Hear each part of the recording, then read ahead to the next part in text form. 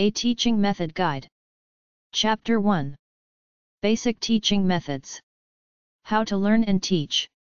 The easiest way is to try to get the kid or the adult to tap into their natural sense of curiosity and inspiration before they get brainwashed by the world as to what constitutes success and fun. They did studies on monkeys. When they started rewarding them for things they did anyway for fun, the monkeys stopped doing them on their own. So a human being has a choice. Pursue what's natural inside of you. Buy into the world's system of rewards and punishments. That's it, try to get someone to learn for a natural love of it. If you can't do that, offer them either rewards or punishments.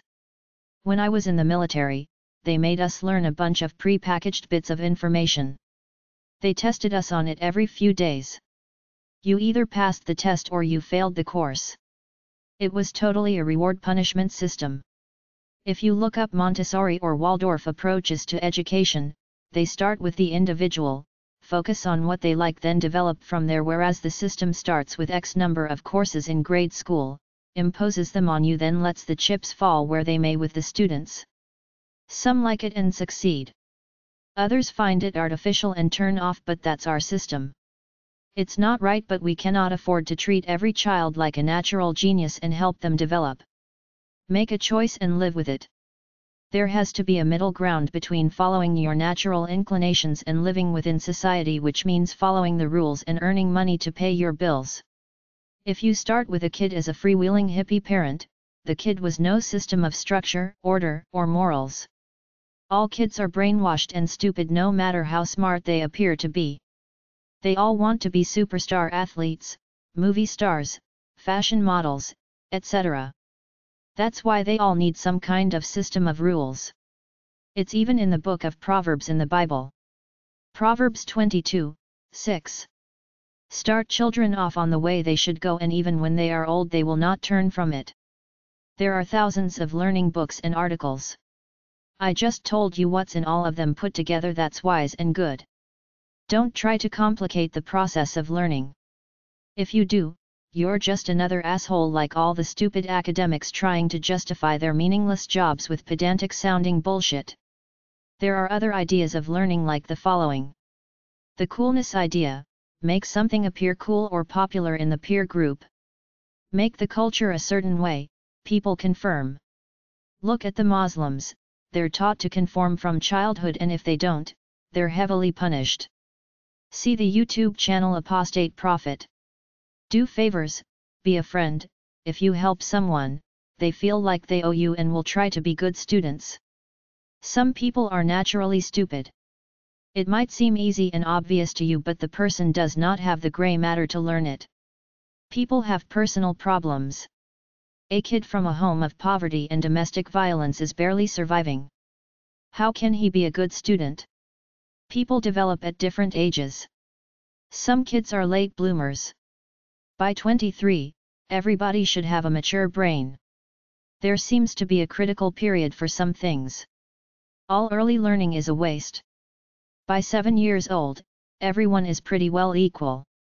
If you present stuff like computer programming early, the kid might catch on then he's got it for life but if you wait until the kid is 20, it might be too late. All true geniuses with a strong sense of natural inspiration living in a modern society where they have the means and the ability to develop, always end up living by their own natural genius. That's what enlightenment is. School is irrelevant to the genius. They're going to go their own way regardless of whether school is good or bad. Everything in that fake field called educational psychology is a big bunch of crap like these bubblehead ideas. McGregor's X and Y theory Motivational orientations. Brain lobes. Left and right hemisphere. Cognitive mode specialization. Stages of psychomotor development. Cognitive roles of language. Piaget's developmental stages. Every academic nerd has an ego. He or she wants to feel like they're contributing something unique to their field so they do their stupid little studies that are in the stupid social science journals out there but they don't realize that a human being is not scientific. They're spiritual aesthetic beings. They can't be studied scientifically. Don't do the scientific method on people. It's stupid. Then they teach this other stupid idea which is if you can't measure it, it's not real. Every human being is a loner with their loner minds. You can't measure that. There is no science of human behavior even though the American Psychological Association has 52 subcategories. It's madness and most people are brainwashed into thinking somebody knows something deep and advanced about human life that they don't know because we're brainwashed that way, to buy into the lie of experts in everything, even in human life. What about love and learning? Love the person, try to help them. Nothing has changed since the mythical King Solomon wrote the book of Proverbs.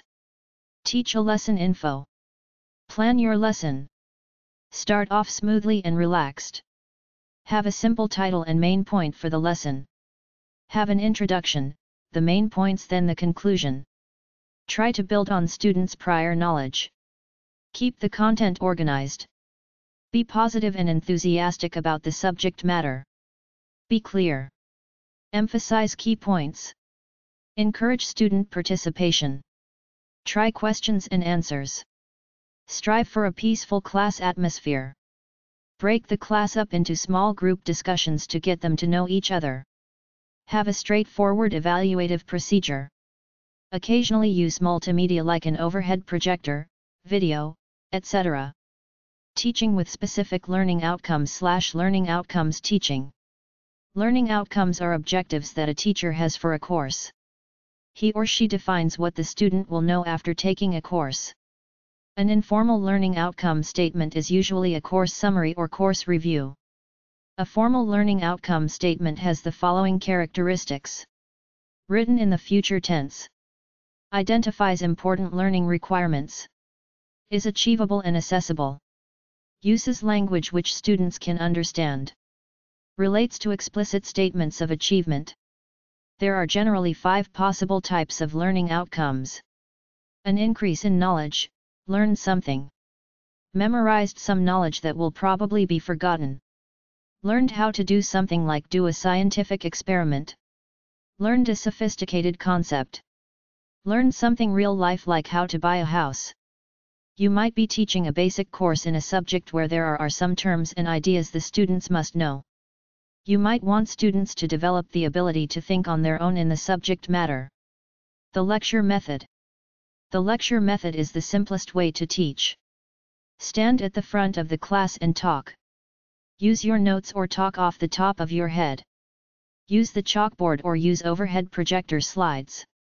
Use other things like video, handouts, etc. Think of what bores you. Don't be like that as a teacher. If the material is dry, do it quickly. Move on to more interesting stuff. Try to have interesting tidbits and stories for some points. Don't just teach straight out of the textbook. In that case, why bother lecturing? Tell them to read the book and ask questions in class about it.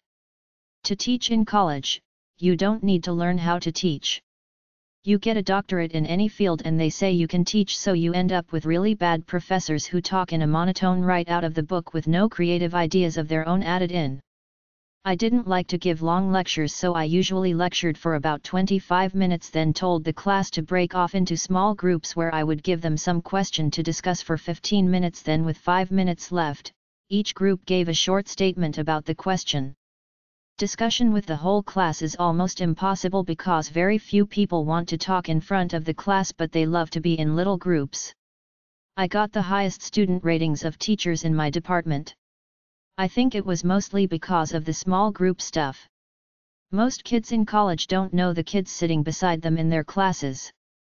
Let them talk to each other in small groups and all of a sudden you got the best class in the school.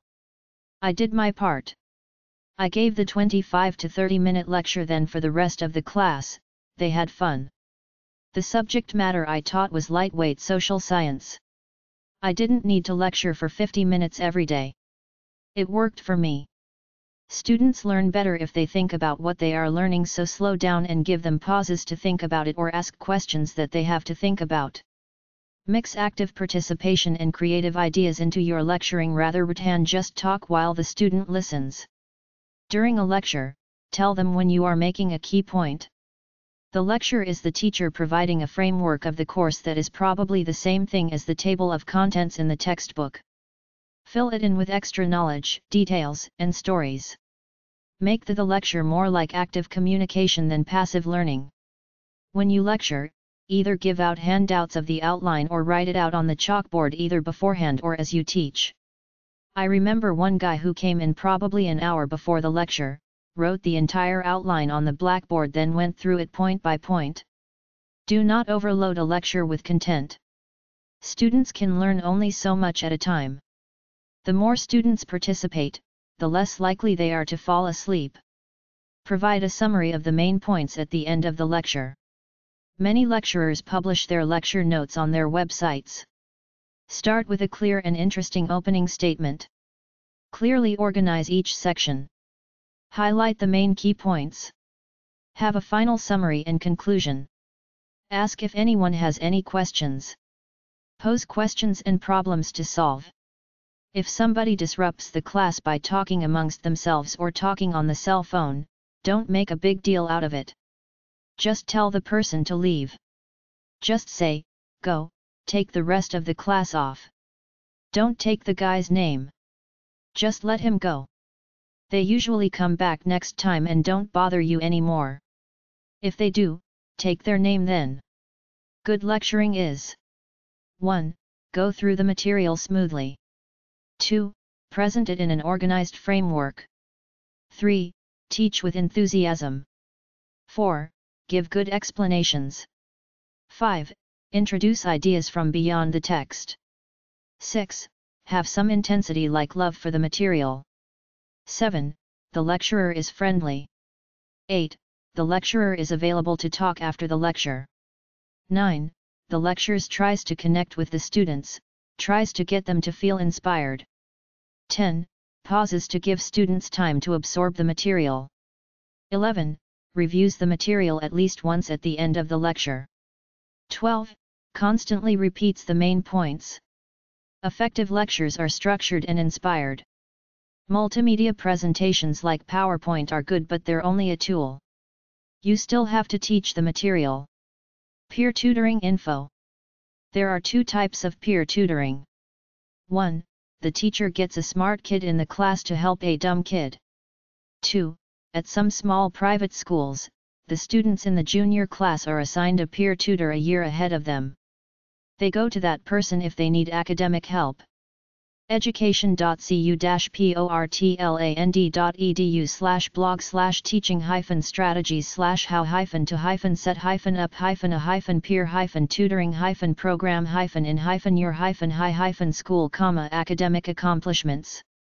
Problem-based learning info slash project-based learning, PBL, slash learn by doing slash independent study. Project-based learning gets away from the typical course where a student learns a certain amount of information then takes tests. With PBL, students do projects either alone or in groups. They call this independent study too. The teacher might pose a problem and ask the students to solve it or he or she might give them a general topic to explore. Teach whatever it is you're teaching then give students real-life practical applied problems to work on related to your field both alone and in small groups. Find case studies, present them leaving enough information out for them to try to solve it their way. State the problem clearly. Clarify any ambiguous points. Students analyze the problem.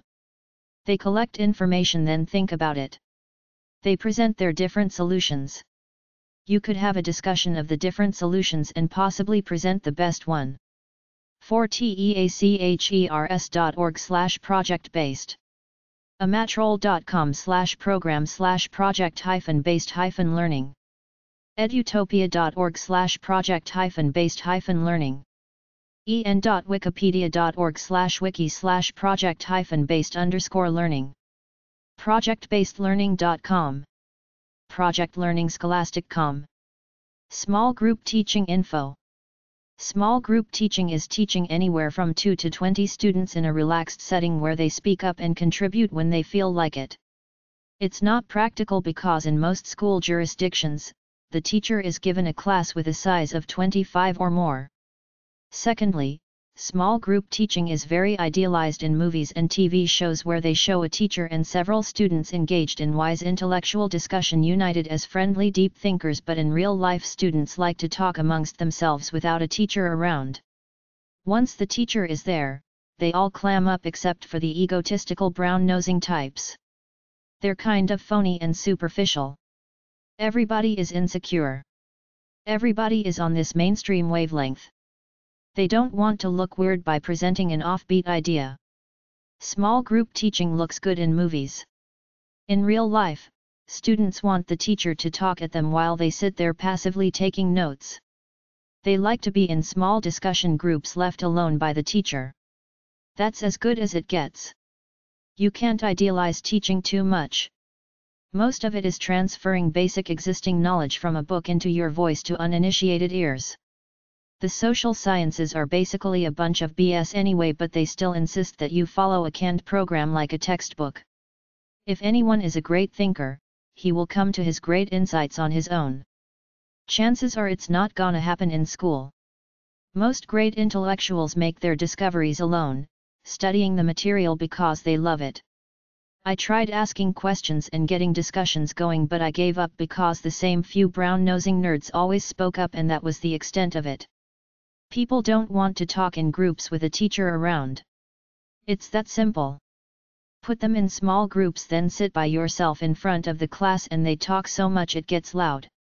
There is nothing that intense or profound that you need to force people to sit around in a group and discuss in the hopes that they will come to greater insights like the dialectic methods used by ancient Greeks to come to their own truths about issues.